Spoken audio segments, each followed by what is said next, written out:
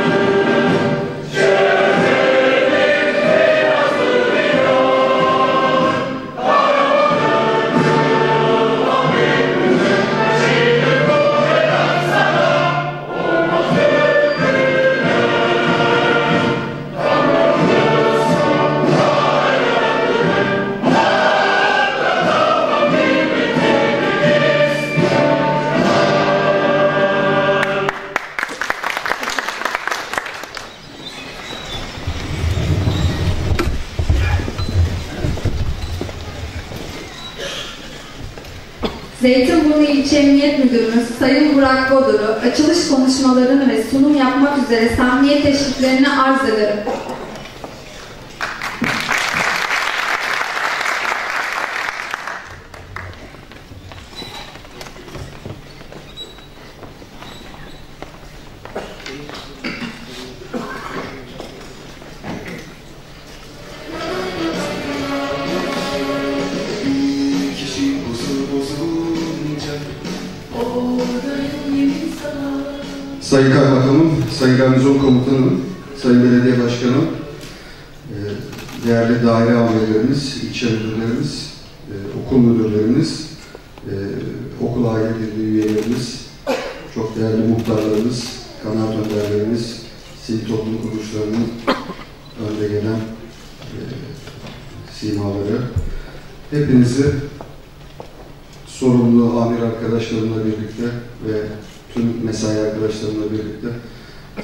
Saygıyla, sevgiyle selamlıyorum.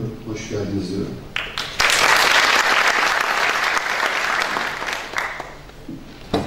Güvenlik hizmetlerine halkın katılım ve desteğini sağlamak için yapmış olduğumuz bu toplantımızda toplumun güvenlik güçlerine olan inancını ve e, güvenlik hizmetine olan memnuniyetini arttırmak bizim öncelikli hedefimiz.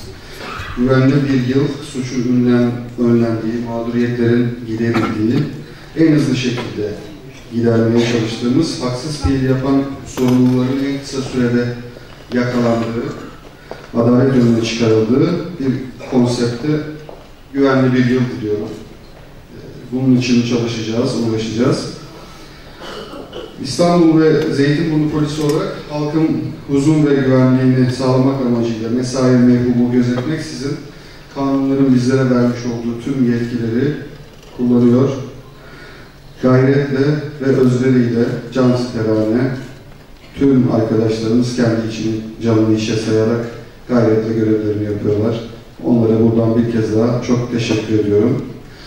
Bugün e, sabah saatlerinde e, Kıbrıs şehitlerimiz ve gazilerimiz için e, bir anma töreni ve Berat Madalya töreni e, tertiplendi. E, ona da hep birlikte katıldık. E, bir kez daha buradan tüm şehit ve gazilerimizin aziz hatırasına minnetle, saygıyla e, teşekkürlerimizi, şükranlarımızı sunuyoruz. E, gazilerimize sıhhatle hayatlarına devam etmelerini diliyoruz. Sunumumuz olacak az sonra. Ee, burada asayişe dair ve e, genel olarak ülkemizdeki yabancı e, problemimiz e, ve bununla ilgili gelen e, önlenmesi gereken suç ancak burası e, bir ana yurt.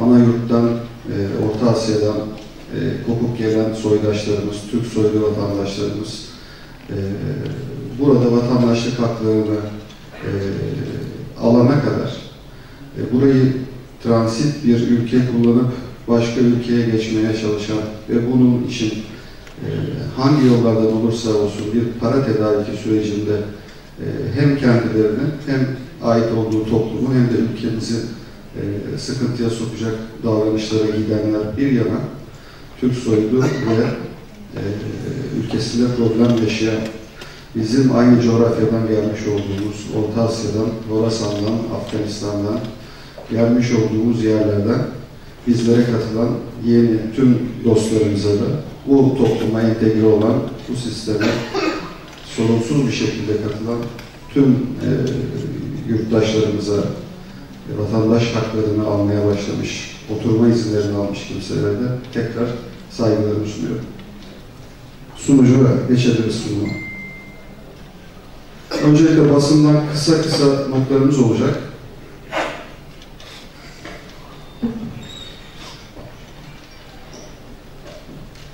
Quer dizer,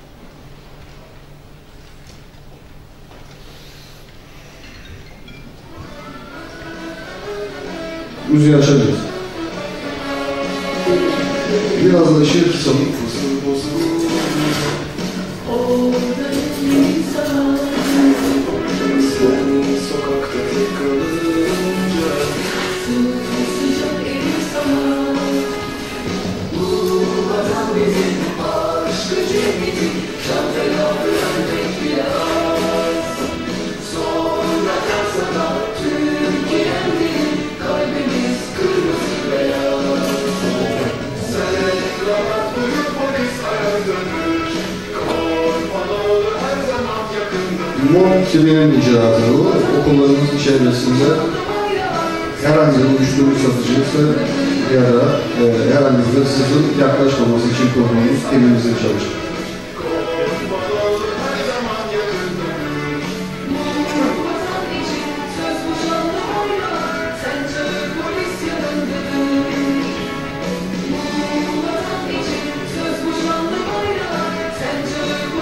Torbacılar bu e, hazırlanmış o satışa hazır halde uyuşturuculara fişek diyorlar.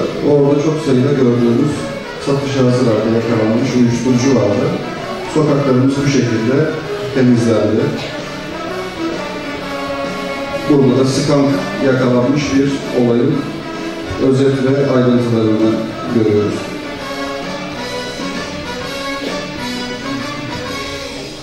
Bisikletli çocuklarımıza yönelik tacizde bulunan bir tacizciyi yakalamıştık. Ayrıca bahçeli de pek çok olaya karışmıştı bu kişi.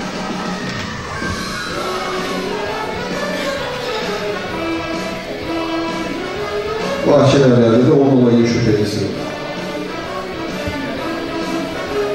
Bu da tutuklandı ve cezaevine teslim edildi.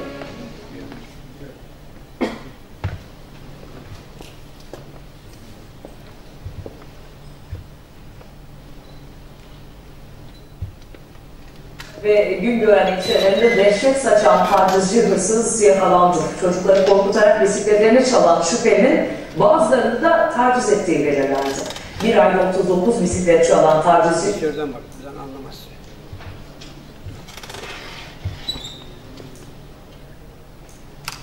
hırsız gözaltında. Tamer Özbey'in özellikleri.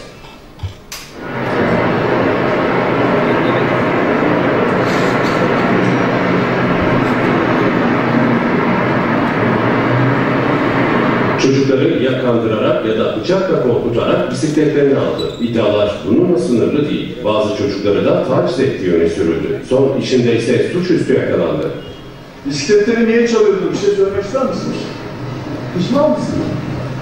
Görüntülerdeki kişi İstanbul, Zeytinburnu, Bahçeli Evler ve Güngören'deki ailelerin adeta kabusu oldu. Çocukları durduran şüpheli sen benim kardeşime çarpmışsın, gel özür dile diyerek onları kandırıyordu. Kanmayanları da korkutuyordu. Çocukların yanına yaklaşan şüpheli onları kandırıp bisikletlerini çalıyordu. İddiaya göre bazı çocuklara da tacizde bulundu. Yine bisikletini vermek istemeyen çocuklara da bıçağını gösterip bıçak soluyla bisikletlerini aldı.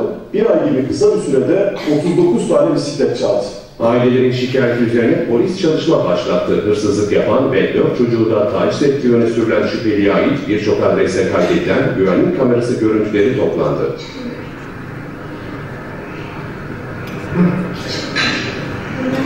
Şüphelinin kimliğini belirleyen Zeytinburnu araştırma ekipleri pusuda bekliyordu. Yine telefonla konuşma bahanesiyle başka bir çocuğa yanaştığı sırada suçüstü yakalandı.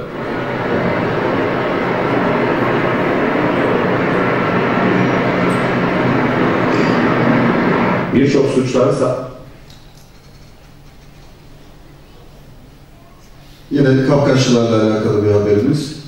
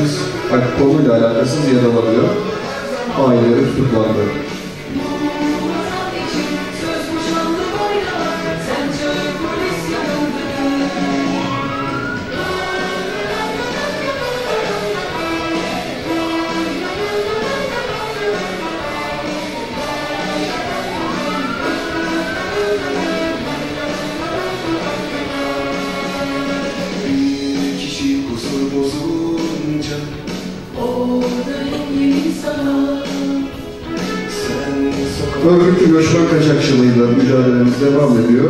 Ve ülkemize gelmeye çalışan ya da Avrupa'ya gitmeye çalışan, ülkelerindeki sıkıntılı durumdan e, sığınacak ülke arayan, e, korunması gereken insanlarımız bu göçmen kaçakçıların elinde e, para oyuncağı haline geliyorlar ve ellerindeki avuçlarını onlara verip çoğunlukla gemilerde ya da kamyonlarda hayatlarını kaybederek zor bir yolculukla yeni bir hayata yelken açmaya çalışırken çoğunlukla yitirdiğimiz insanlarımızın sömürülmemesi adına yapılan faaliyetlerimiz. Vatan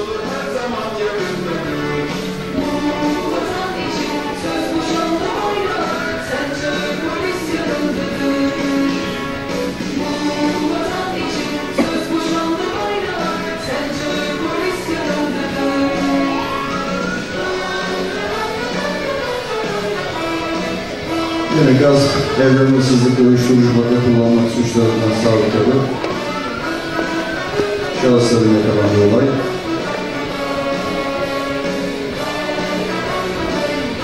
Evren hırsızlık failleri bu olayda da tutuklandı. Yine vatandaşlarımızı ya da acize düşmüş, ihtiyaç sahibi, henüz vatandaşımız olmamış, ülkemize sığınan yabancıları sömüren, polis üslerine dolandırıcılık yapan kimselerle ilgili yapmış olduğumuz mücadelemizde yakaladığımız şahıs. Şahıs yakalandı ve tutuklandı.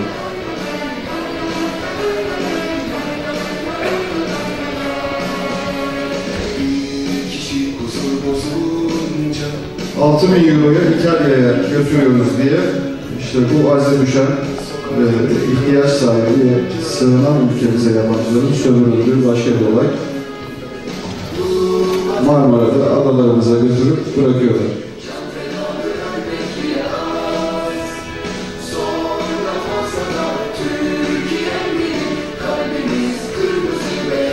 Şüpheliler tutuklandı. Hem göçmen kaçaklığından hem dolandırıcılık suçundan işlem görüldüler.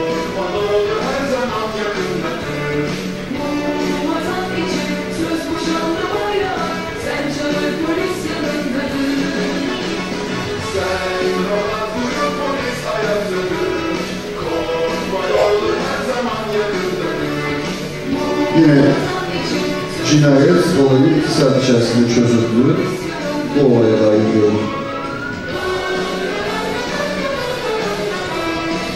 İran uyruklu bir şahsın yakalandığı olay.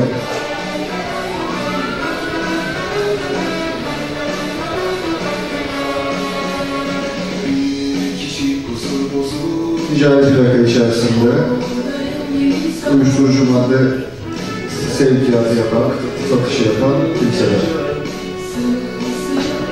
Bunlar da deşifre edilerek yakalandılar. İçinden 124 gram metamfetamin ve diğerleri.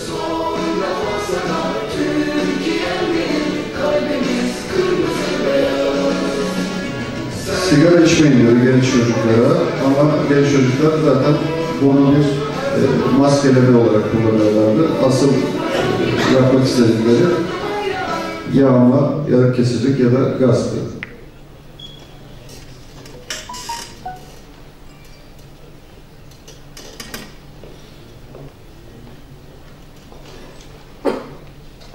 Bu şahıslar da tutuklandılar. Bununla ilgili video görüntüsü var şimdi.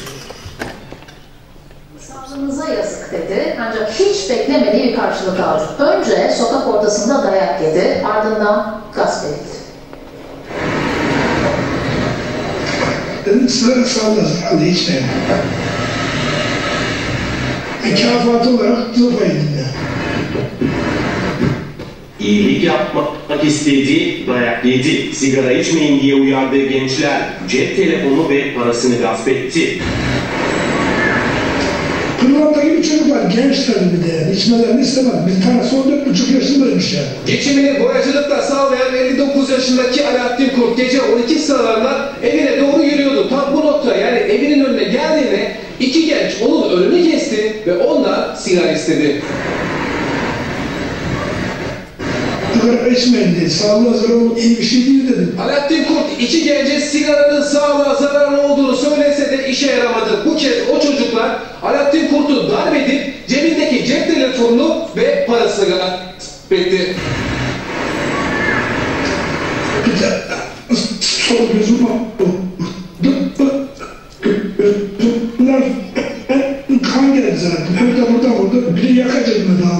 daldı. Yaka cebime dalan tuttum. Öyle burada pantolon bir telefon vardı. Yaşadığı ilk şoku atlattıktan sonra polis merkezine gidip şikayetçi oldu.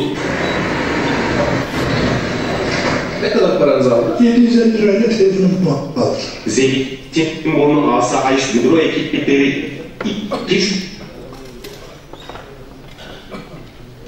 Gördüğünüz gibi mağdur olan da mağdur edilen de Zeytinburnu halkı. Ee, o çocuklar da uzaydan gelmedi. O çocuklar da bizim topluma kazandırmamız gereken çocuklarımız.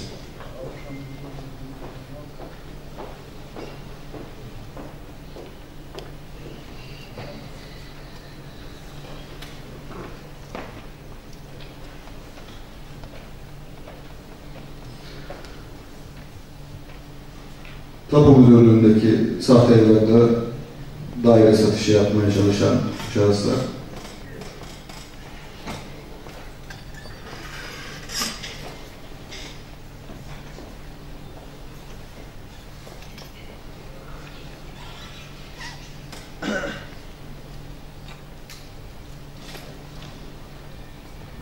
Bir sonraki slayta geçelim.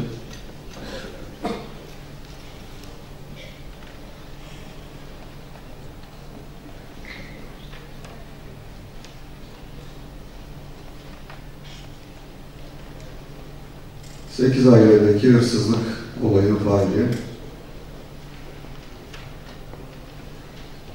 Esenyurt'ta yakaladık.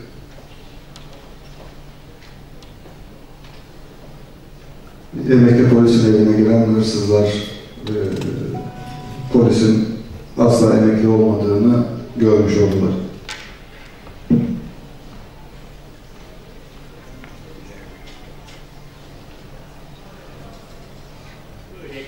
Teşkilatta böyle gördük. Koşmak, hırsızı kovalamak. Biz de peşine gittik. Şimdi biz içimizden gelen bir şey var. Alışmışız senelerdir bu işi duramadığımız için ama biraz mantıklı hareket etmek lazım.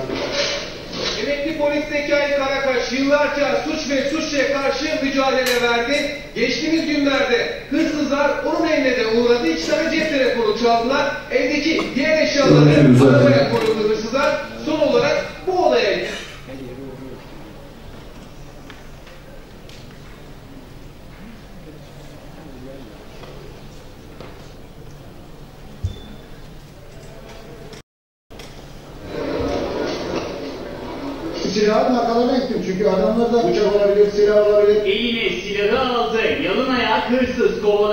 Polisin evini soymaya kalkan şaşkın hırsızlar arkalarına bile bakmadan böyle kaçtı. Teşkilatta böyle gördük. Tamam. Koşmak, hırsızı kovalamak. Biz de peşine gittik. Şimdi biz içimizden gelen bir şey var. Alışmışız senelerdir bu işi duramadığımız için ama biraz mantıklı hareket etmek lazım. Emekli polis Zekai Karakaş yıllarca suç ve suçluya karşı mücadele verdi. Geçtiğimiz günlerde hırsızlar onun eline de uğradı. İki tane cep telefonu çaldılar. Evdeki diğer hırsızlar. Son olarak bu odaya girdiler.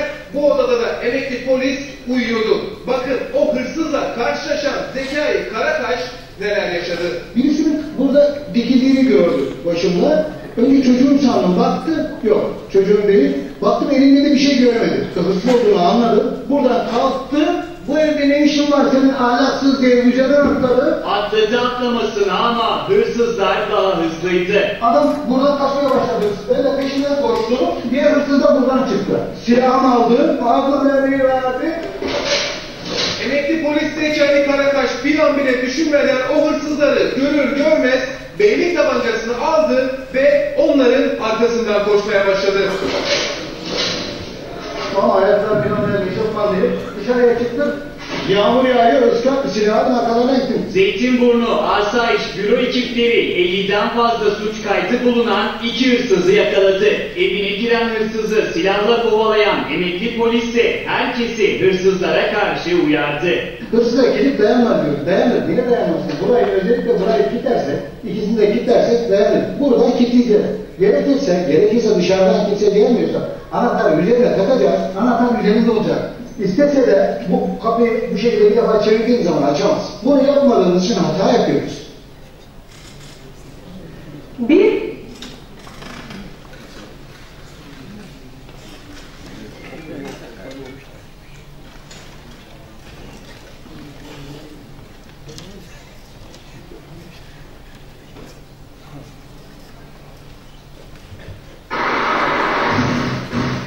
İstanbul Kazlıçeşme'deki Marmara İstasyonu'nda yüreklerin ağzına geldiği bir olay yaşandı. Kızlar arkadaşıyla kavga eden genç elindeki bıçağı boynuna götürüp canını kıymaya çalıştı. O gencin hayatını çok çabuk ve çok profesyonel bir müdahaleyle istasyondaki polisler kurtardı.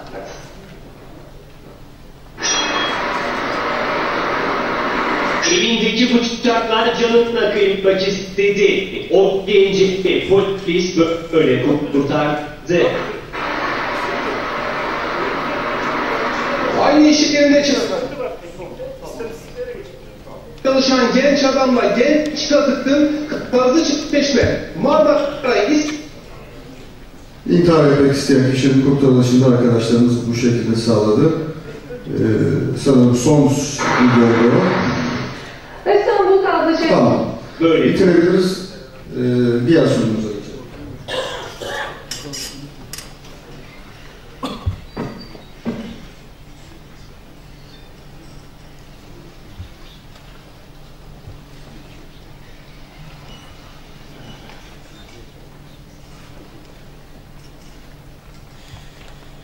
Şimdi rakamlar üzerinden gideceğiz. Biraz slayta geçebiliriz. Önce genel durum, 2019 yılı adliye olayları, suç önleme faaliyetleri ve projelerimizden bahsedeceğiz. Vizyonumuz kaliteli güvenlik hizmetleriyle örnek bir teşkilat olmaktır. Ee, misyonumuz bireylerin temel hak ve özgürlüklerin korunması ve toplumun düzen içerisinde yaşamını sürdürmesi için hukuk ilkeleri içerisinde çalışmaktır. Ve diyoruz ki geciken adalet, adalet değildir. O sebeple e, 155 aradığımızda anında tüm ekiplerimiz, Yunuslarımız, motorize unsurlarımız orada olacaklar. Bu TÜİK verilerine göre nüfusumuz 284.935 2019 yılı. Yüz ölçümümüz 12 kilometre kare. Mahalle sayımız 13 ve tüm mahallelerimizle ilgili muhtarlıklarımızla yoğun bir çalışma içerisindeyiz. Onlara yapmış olduğumuz WhatsApp gruplarımız var. Yine hastane başhekim, başhekim yardımcılarımız ve idarecilerimizle yapmış olduğumuz WhatsApp gruplarımız var. Okullarımızla not timi e, ve mobil park ekibinin sevki için okullarda ani gelişen olaylara e, müdahale etmek üzere yine e, bir WhatsApp grubumuz var.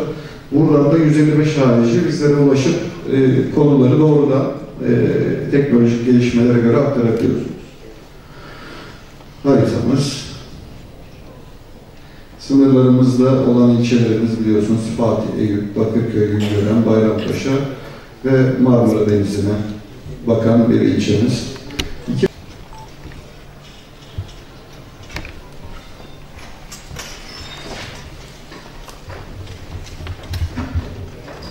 Çok kıymetli kaymakamımız, değerli Gönlümüzün komutanımız, emniyet müdürümüz, siyasi partimizin ilçe başkanları, belediye meclislerimiz, muhtarlarımız, okul müdürlerimiz, değerli protokol, hanımefendiler, beyefendiler, hepinizi hürmetle, muhabbetle selamlıyorum.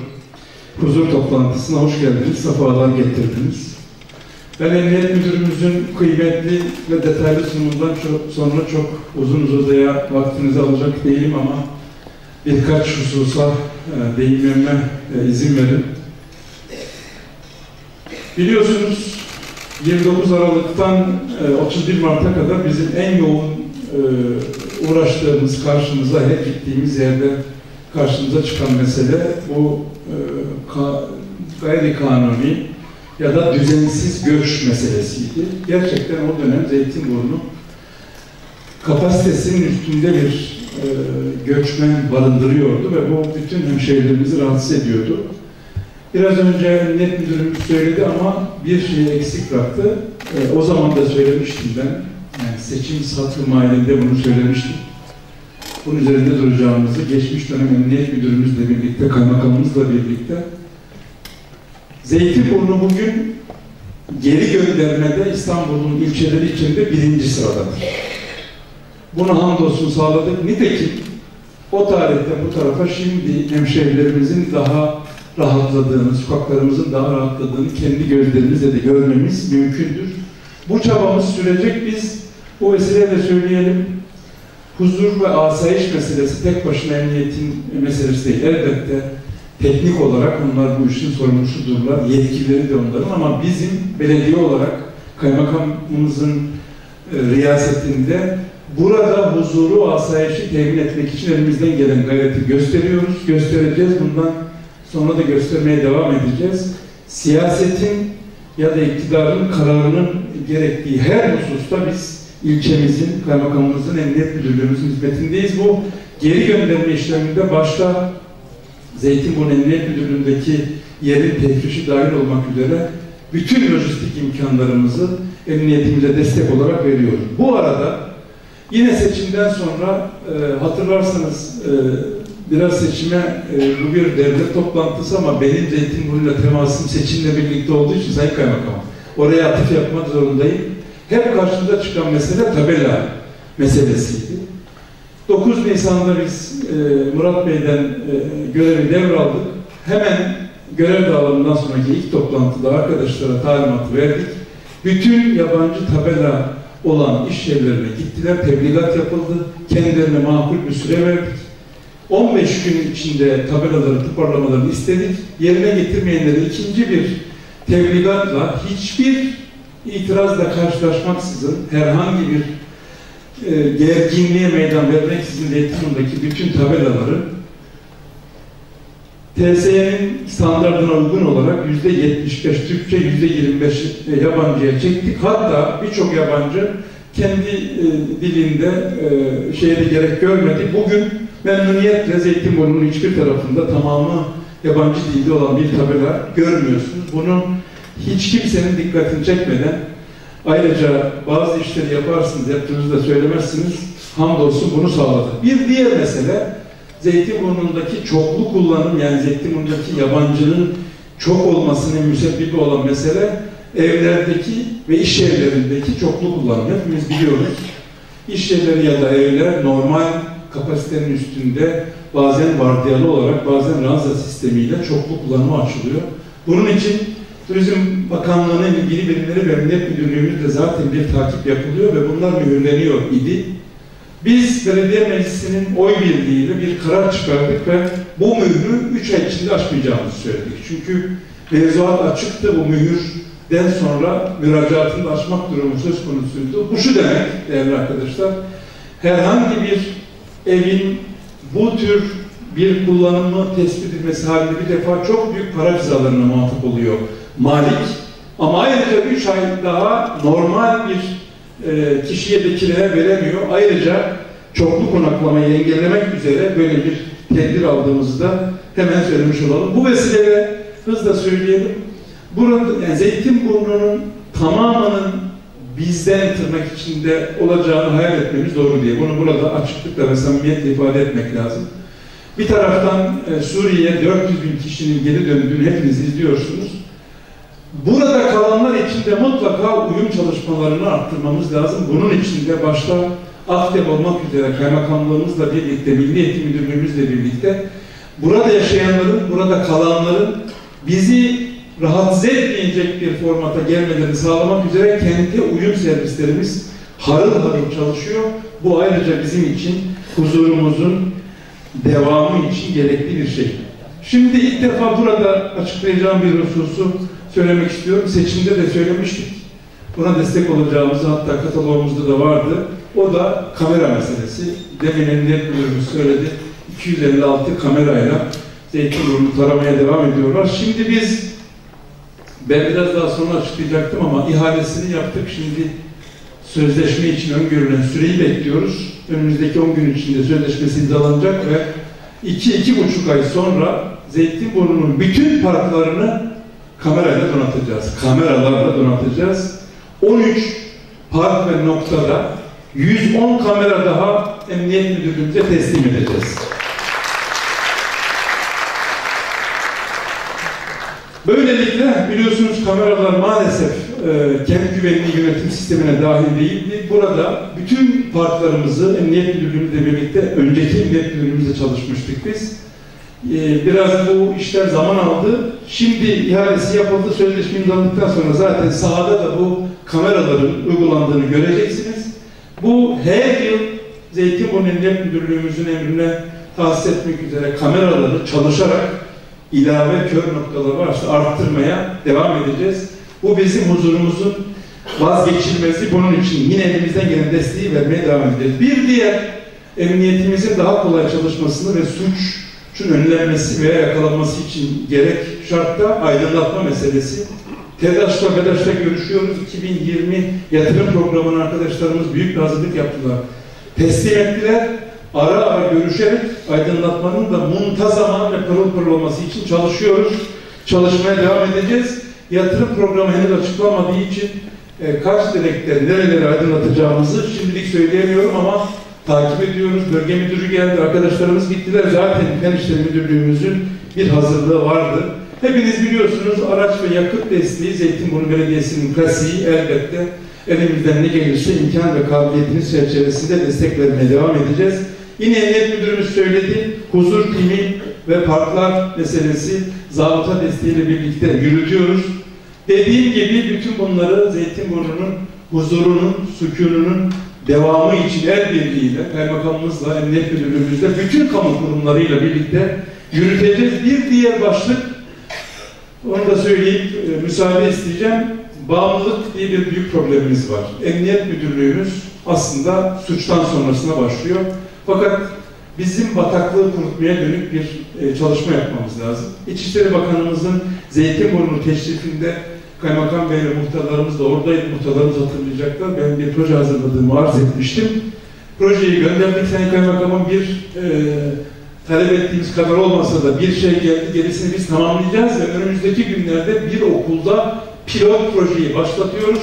Ailelerin bilinçlendirilmesi için çocukların hangi aşamada ve hangi hareketlerle bağımlılığa bulaştıklarının baştan tespit edilmesi lazım.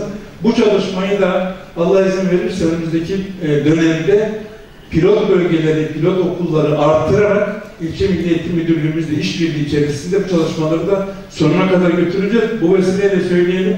İstanbul'un tek şubesi Zeytinburnu'nda bize misafir. Bunu da kullanarak tırla beraber önümüzdeki günlerde inşallah kaymakamımızla, emniyet müdürlüğümüzle birlikte, Milli İlçe Milli Eğitim Müdürlüğümüzle birlikte startını vereceğiz ve buna dair farkındalığın artırılması için çalışacağız. Ben Hepinize dikkatli dinlemeniz için çok teşekkür ediyor, saygılar sunuyorum.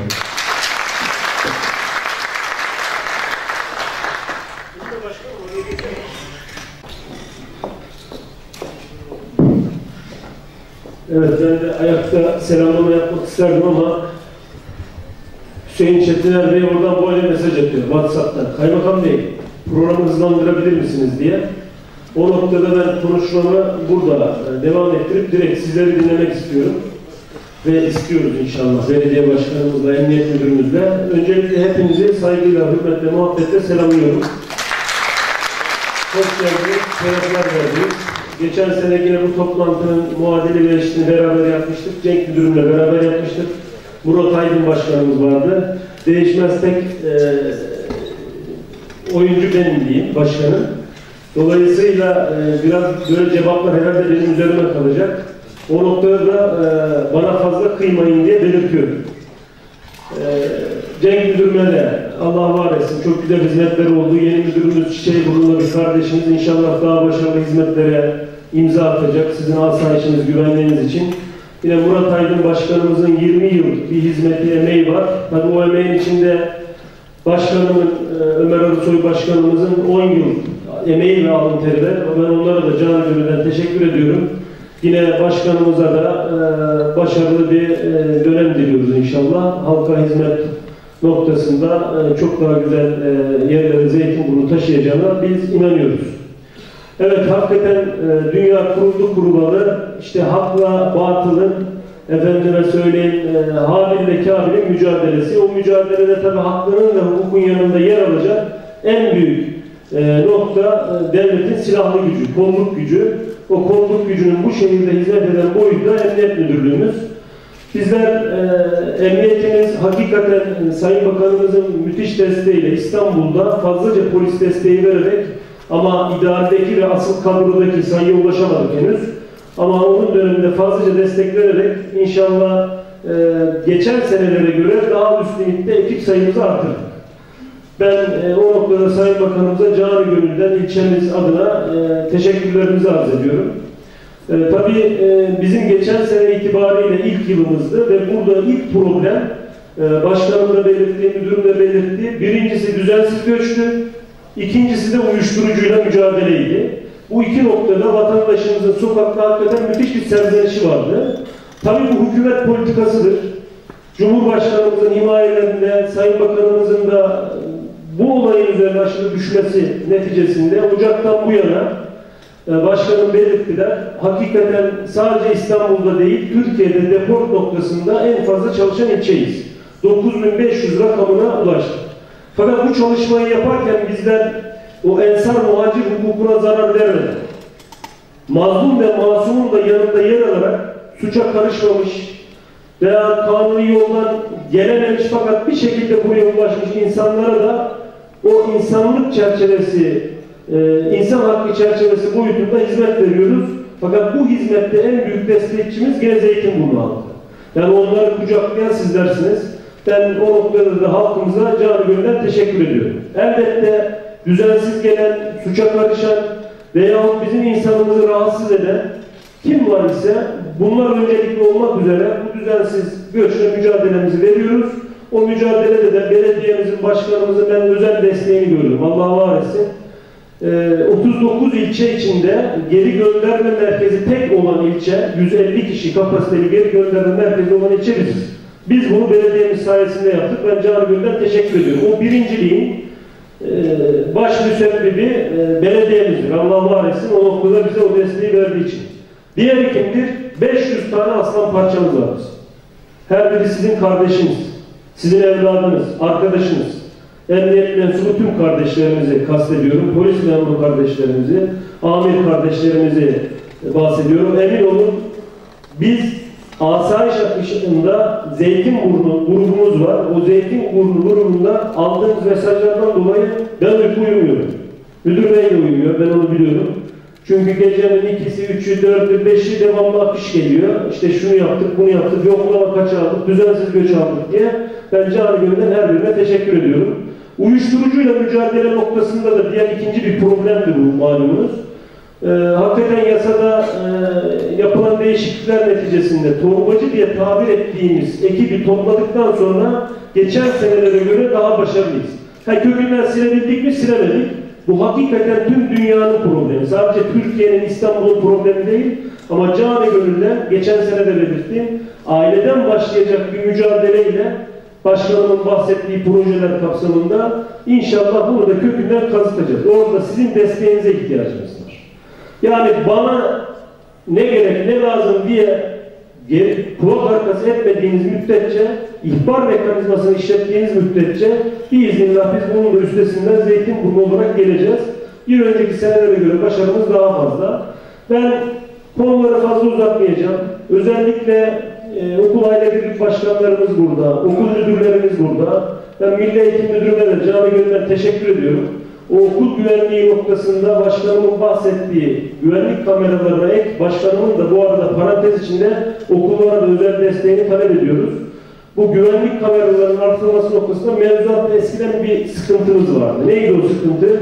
İlla bu entegrasyonda çok üst düzey, Ankara'dan da gözlemlenebilecek bir sistemi istiyorlardı. Onda bir yumuşatmaya gidildi.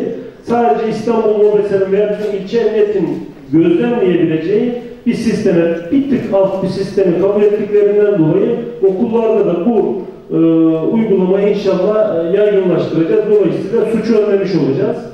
E, ben e, sözlerimi fazla uzatmayacağım. Şimdi e, dilerseniz ve bütün arkadaşlar da katılıyorsa böyle ön sıradan başlayarak sıra sıra ilerleyelim. Her sırada sorusu olan arkadaşlarımıza dilimizin döndüğünce cevap vermeye çalışalım. Ama ben, ama emniyet müdürüm, ama belediye başkanım cevap verebilirler. Ee, bu noktada her fikrimiz o şekilde devam edelim inşallah. Evet, Müftü Hocam siz de e, çiçeğe burunlu müftümüzsünüz. Aslında bir yeni daire amirlerini hemen tanıtabiliriz. Müftü Hocam var aramızda. Başka var mı? Arkadaşlar var. Tabu müdürümüz burada mı? Herhalde. Müftü Hocam şöyle bir kalkın bir tanısınlar arkadaşlar. Yeni ilçe müftümüz arkadaşlar. Ankara İl Müftü Yardımcılığımızdan geldi. Sadece tanıyayım istedim. Diğer daire amirleri bildiğimiz arkadaşlar zaten. Evet ilk sıradan başlayalım mı? İlk sırada var mı sorusu var? Tamam başkanım. En arkadan başlayalım. Hiç sıkıntı yok. Hiç sıkıntı yok. İkinci sıradan devam edelim. Reşit abla var mı sorun? Her şey yolunda diyorsun. Özellikle Türk soylular noktasında Sayın Cumhurbaşkanımızın, Sayın Bakanımızın özellikle tembihi, hakikaten geri dönüşünde çile çekecekler tamamen burada kalmak üzere. Geri göndermeler üzerine kurulu bir sistemimiz var. Ama illa adam suça karıştıysa, burayla entegrasyon olmuyorsa o noktada da artık kredisinin tükendiğini görerek gözleyebiliyoruz. Ama yine diyorum o şekilde dahi olsa geri döndüğünde sadece Türk soylular için değil arkadaşlar, hangi memleket olursa olsun, kendi iktidarları, siyasetçileri, düzeni, rejimi tarafından zulme uğrayacağına inanıyor isek, Türk milletinin en büyük özelliği nedir? Zulmetmeyen bir millettir. O noktada kesinlikle geri yollamıyoruz. Onu da belirteyim.